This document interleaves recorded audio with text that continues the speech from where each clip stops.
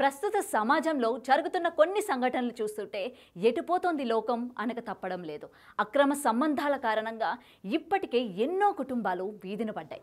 మరెన్నో వైవాహిక జీవితాలు చిన్నాభిన్నమవుతున్నాయి జరుగుతున్న హత్యల్లో ఎక్కువ శాతం అక్రమ సంబంధాల వల్లే అని అనేక నివేదికలు చెప్తున్నాయి.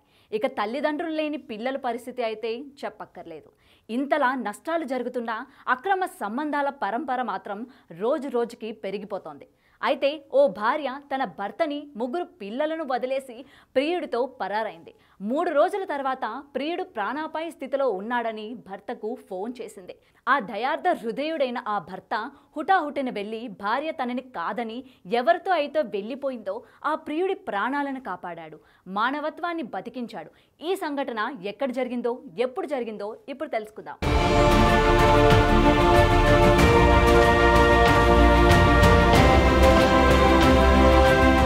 చిత్తూరు పట్టణం కొంగారెడ్డిపల్లిలో నివాసం ఉండే తాపీ మేస్త్రి రాజుకి పదేళ్ళ కిందట రాధికతో వివాహం జరిగింది. వీరికి ఇద్దరు అబ్బాయిలు ఒక కూతురు ఉంది. అయితే వీరి ఇంటి ఎదురుగా జులాయిగా తిరిగే పంతొమ్మిది ఏళ్ళ యువకుడు సతీష్తో రాధిక చెల్లి ప్రేమలో పడింది. ఆరు నెలల కిందట రాధిక చెల్లిని తీసుకొని పారిపోయిన సతీష్పై రాజు పోలీస్ కేసు పెట్టాడు. వారి అడ్రస్ కనుక్కున్న పోలీసులు ఇంటికి రప్పించారు. పెద్ద మనుషుల సమక్షంలో పంచాయతీ కూడా పెట్టించారు. వరుసకు సోదరి అయ్యే ఆమెను తీసుకెళ్ళడం ఏంటి అని సతీష్ను మందలించిన పెద్ద మనుషులు రాధిక చెల్లిని ఆమె తల్లిదండ్రుల వద్దకు చేర్చారు. అయితే తాను ప్రేమించిన యువతిని దూరం చేయడమే కాక తన పరువు తీశాడని రాజుపై కక్ష పెంచుకున్న సతీష్ను అంత చూస్తానని నీ కుటుంబాన్ని నాశనం చేస్తానని శపథం చేశాడు. తిరుపతి పట్టణానికి సంబంధించినటువంటి ఒక మైనర్ అమ్మాయి ప్రేమ వ్యవహారంలో ఇరు వర్గాలు ఘర్షణ పడడం జరిగింది. ఈరోజు మధ్యాహ్నము ఈరోజు ఉదయం పదకొండున్నర పన్నెండు గంటల ప్రాంతంలో అమ్మాయికి సంబంధించిన అన్న వెళుతూ ఉంటే అబ్బాయి ఆ ప్రేమికుడు ప్రేమికుడు ఎవరైతే ఉన్నారో లవరు వాళ్ళ సంబంధించినటువంటి వాళ్ళు ఆ అన్నను కొట్టడం వల్ల దానికి రిటాలియేషన్గా ఈ అమ్మాయికి సంబంధించి అబ్బాయికి సంబంధించిన వాళ్ళను అక్కడ మాట్లాడడానికి పోయి అక్కడ జరిగి ఘర్షణ జరిగింది ఘర్షణ జరిగిన దానిలో అమ్మాయికి సంబంధించిన మేనమామకు గాయాలయ్యాయి. అదేవిధంగా అబ్బాయికి సంబంధించినటువంటి తమ్ముడు అతనికి ఒక తొడ మీద గాయమైంది. సో ఈరోజు ఇద్దరు కూడా గవర్నమెంట్ హాస్పిటల్ ఎస్వి ఎస్విఆర్ హాస్పిటల్లో అడ్మిట్లో ఉన్నారు. ప్రమాదం వాళ్ళకి ప్రమా ప్రమాదం అయితే ఏం లేదు. మా స్టేబుల్గా ఉంది. ఇప్పటివరకు అయితే స్టేబుల్గా ఉంది ఆరోగ్యం. ఇరు వర్గాల మీద కంప్లైంట్స్ తీసుకొని ఇరు వర్గాల మీద కేసులు కట్టడం జరిగింది. దర్యాప్తు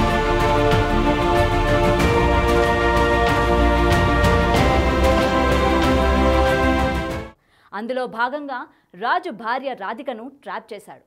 ముగ్గురు పిల్లలున్నా సరే నిన్ను పెళ్ళి చేసుకుంటానని నమ్మించాడు. తనకంటే చిన్నవాడైనా సరే వరుసకు తమ్ముడైనా సరే రాధిక ఏమాత్రం కూడా ఆలోచించలేదు. ఆమె పడక సుఖం కోసం భర్తను కడుపున పుట్టిన ముగ్గురు పిల్లలను విడిచిపెట్టి ఈ నెల ఇరవై ఒకటిన సతీష్తో లేచిపోయింది. మూడు రోజుల తర్వాత ఏమైందో ఏమో కానీ రాధిక తన భర్త రాజుకు ఫోన్ చేసింది. పిల్లలతో చివరిసారిగా మాట్లాడాలని ఉంది. ఒక్కసారి ఫోన్ ఇవ్వవా అని దీనంగా అడిగింది. ఏమైంది? ఎందుకు ఏడుస్తూ మాట్లాడుతున్నావు? ఎక్కడున్నావు? అంటూ సతీష్ ప్రేమతో అడిగేసరికి నిన్ను మోసం చేసి సతీష్తో వెళ్ళిపోయాను. తప్పు చేశాను. నేను సతీష్ ఆత్మహత్య చేసుకుంటున్నాము అన్నది. అంతే. వద్దు. అలా చేస్తే పిల్లలు ఇబ్బంది పడతారు. నువ్వు నాకు కావాలి. నేను నిన్ను ఏమీ అనను. ఎక్కడున్నారు? వెంటనే వస్తున్నా అన్నాడు. తిరుమల శ్రీవారి మెట్టు మార్గంలో ఉన్నాం. పురుగుల మందు తాగుతున్నామని ఫోన్ పెట్టేసింది రాధిక. దీంతో బైక్పై హుటాహుటిని బయలుదేరాడు రాజు. అప్పటికే సతీష్ పురుగుల మందు తాగి అపస్మారక స్థితికి వెళ్ళాడు. రాధిక తాగేందుకు యత్నిస్తుంటే స్థానిక టీటీడీ భద్రతా సిబ్బంది అడ్డుకున్నారు.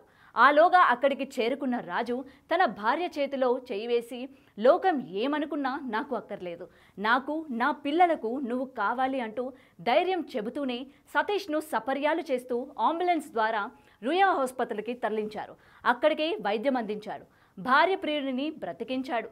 మనిషి జీవితం విలువ లోకానికి చాటి చెప్పాడు. అక్రమ సంబంధాలు పెట్టుకునే వారికి ఇది గుణపాఠమని చెప్పాడు.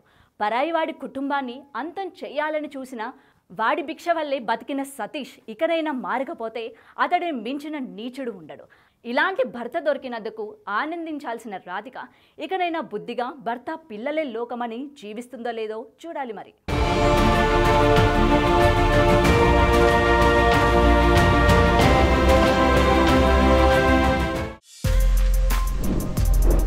More videos like this, subscribe Big TV channel